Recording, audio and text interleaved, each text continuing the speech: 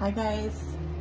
So we, I'm actually standing in the suite that Patrick Swayze stayed in when they filmed Dirty Dancing. And when I was in junior high, it was a dream to, of course, dance like Jennifer Grey with Patrick Swayze. In my 20s, I got to actually take ballroom dancing. And so this has been a theme of my whole life and I'm right now standing in Lake Lure Inn where he stayed, which is so exciting. I'm gonna show you the jacuzzi room behind me. And you know, I wouldn't be here right now if it wasn't for LiveGood. I got to move back to North Carolina, which where is where my heart has been.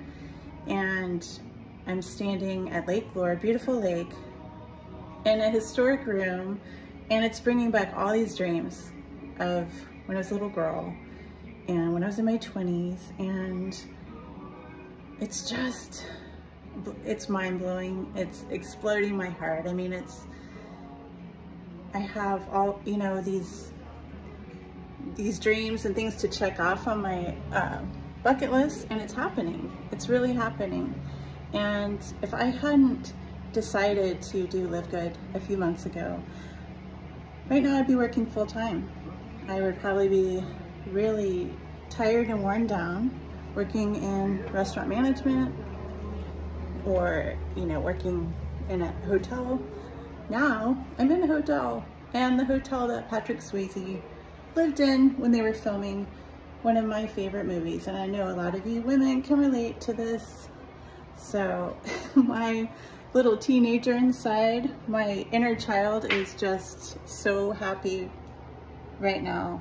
And so I wanted to share this and you know, I'm so grateful that I didn't decide a few months ago to just go back and get a job that was safe and that I decided to go for it and make LiveGood my job because um, these this right now wouldn't be happening. So, you know, I just want to tell all of you that it's just a decision away and you can achieve all your dreams, even the little ones that make your inner child jump and jump up and down and scream with happiness. And I'm sorry if this is cheesy, but you know, our inner children just want what they want, right? So we're about to go to Chimney Rock now and um, explore those mountains and magical area and then uh, this is just 20 minutes from where we live, so I'll be coming back here all the time to swim in the lake and you know, it's just whatever your dreams are, the ones that you forgot a long time ago, the ones that your inner child wanted but never got, like go for it. Make the decision that's a little uncomfortable and out of your comfort zone because it was very much out of my comfort zone months ago when I made the decision to do something different, to take a risk, and to do LiveGood as my full-time job instead of go back to what is comfortable. And I think that we all have those decisions every day in our life. You know, are we gonna do what's comfortable? Are we gonna take a risk and do what we're really yearning for? Do what's gonna bring us the most happiness? And so I'm here to say go for it. Get uncomfortable because what you want is on the other side of fear and it can happen for you. If you're not already in LiveGood, uh, I'm gonna put the link below this video.